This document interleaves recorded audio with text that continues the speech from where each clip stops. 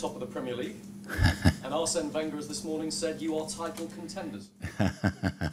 He's joker. He's not joking. he thinks you can win it. No, no, no, no. Uh, thank you to Arsene, but Arsene know very well the truth. I think what he's saying is it's a very open Premier League. This yeah, that is true. That is true. It's open. It's very strange. Uh, but uh, our goal is another. Our, our goal is a 40 point. Still, Yes, of course. I think we are building a very good construction. And uh, I understand if somebody want to go, go. But I believe that in the next year, Leicester slowly, slowly grow up and come battle with the, with the top. Now, at this moment, we are very happy.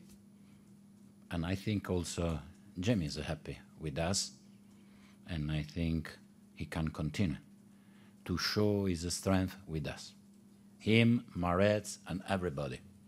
so what you're saying is that you, it may be a little bit unusual that you're top of the Premier League now, but maybe in a few years' time, Yeah, you think you could be top of the Premier yeah. This is our project. Have you talked to the owners about that? Is that something they've said Not now. In July. When you first came? Yeah. People are believing you. Me too.